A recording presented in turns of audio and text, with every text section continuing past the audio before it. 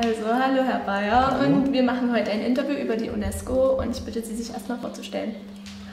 Mein Name ist Franz Bayer. Ich wohne hier in der Nähe in der Kreisstadt Annaberg und ich habe mein Berufsleben im Bergbau in dieser Region verbracht. Und wissen Sie überhaupt, was UNESCO ist und wenn ja, was ist Ihre Meinung dazu?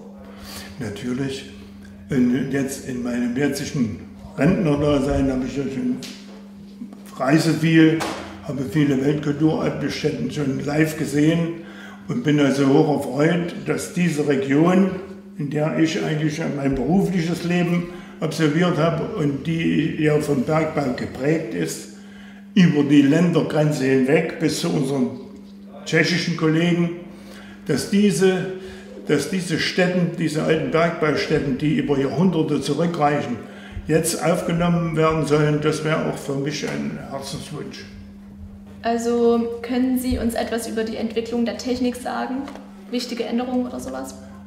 Jawohl, das kann ich, weil ich sie vor Ort selbst erlebt habe, wie gesagt, vom Lehrling als Hammer später bis zum letzten Zeitpunkt als Chef der Rettung habe ich die Entwicklung des Bergbaus im Erzbergbau, muss ich betonen, also live miterlebt und auch gehandhabt.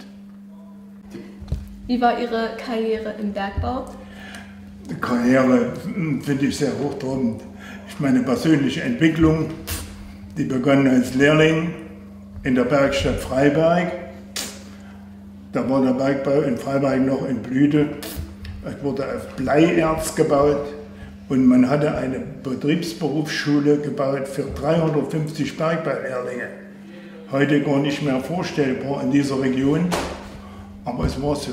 Und dort bin ich als 14-Jähriger in die Lehre gegangen und habe mich für den Bergbauberuf entschieden und habe ihn ausgeführt bis zu meinem Rentendasein.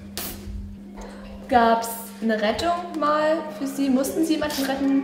Ich habe auf die Gefahren des Bergbaus hingewiesen und es blieb nicht aus, trotz aller Unfallvorschriften und was es alles gab, dass es zu Unfällen kam. Und deshalb gab es auch diese Rettungsmannschaft. Wie bin ich an die Rettungsmannschaft gekommen?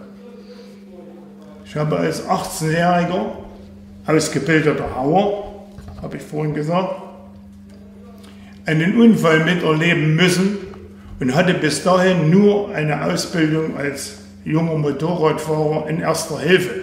Gibt es auch heute noch, nehme ich an. Ja, gibt es noch, doch. Also erste Hilfe leisten müssen wir als Kraftfahrer ja jeden Tag. Kann es uns passieren.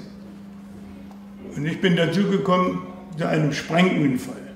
Als junger Hauer habe ich noch nie vorher einen schweren Unfall gesehen.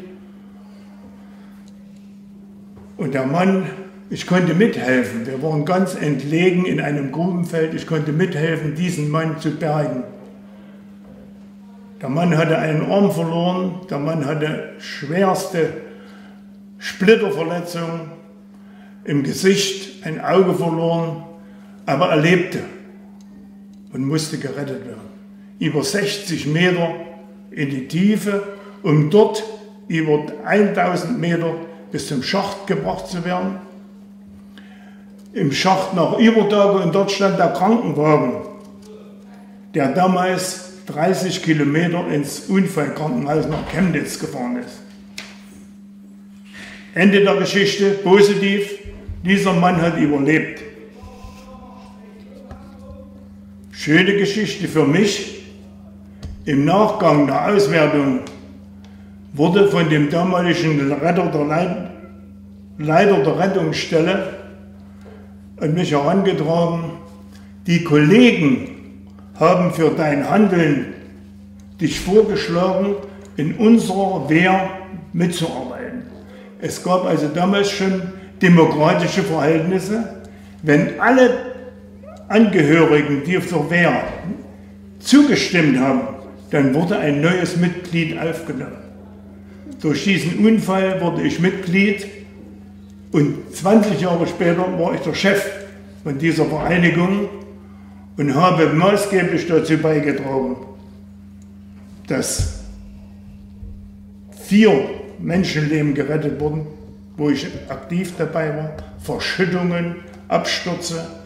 Und habe in der breiten Palette von der Brandbekämpfung bis zur Rettung und Bergung aus Höhen mit Seiltechnik alle Varianten der Rettung mitgemacht. Und bin heute eigentlich ein wenig stolz darauf, dass ich mich dieser Aufgabe so intensiv gewidmet habe, junge Leute ausgebildet, die das später fortgeführt haben. Leider musste ich auch meinen eigenen Betrieb mitschließen, aber das ist ein anderes Kapitel. Dann Dankeschön für Ihre Zeit und dass Sie mir die Fragen beantwortet haben. Kein Problem, wenn ich Ihnen helfen konnte.